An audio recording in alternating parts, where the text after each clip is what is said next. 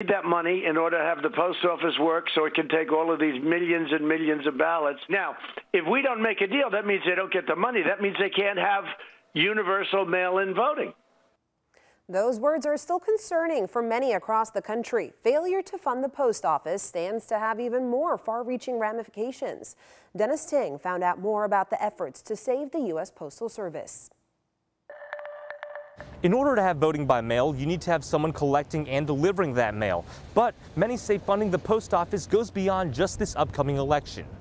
The July newsletter to the local branch of the National Association of Letter Carriers paints a grim picture. Executive Vice President Ron Gast writes, We are hearing of situations where deliverable mail is just left on the floor with no intention of being delivered today, and even tomorrow seems doubtful.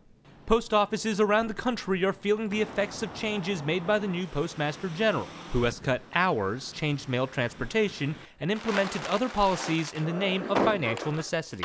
The Postal Service's slowdowns really are a challenge for democracy, but they are hurting Americans every day, regardless of politics regardless of the election. In an interview with PBS, American Postal Workers Union President Mark Dimondstein called on the federal government to help fund the Postal Service, citing the delays and problems that will likely affect mail in voting this upcoming election. That's why Congress needs to act.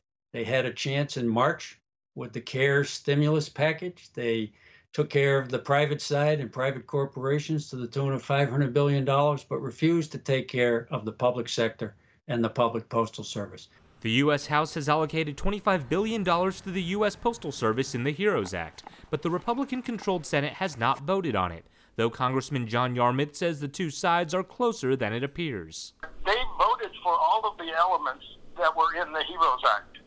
And so now we're just arguing over money, and that should be the easiest thing to compromise. President Trump has said that if Congress gives him a bill funding the Postal Service, he will not veto it. In Louisville, Dennis Ting, WHAS 11 News.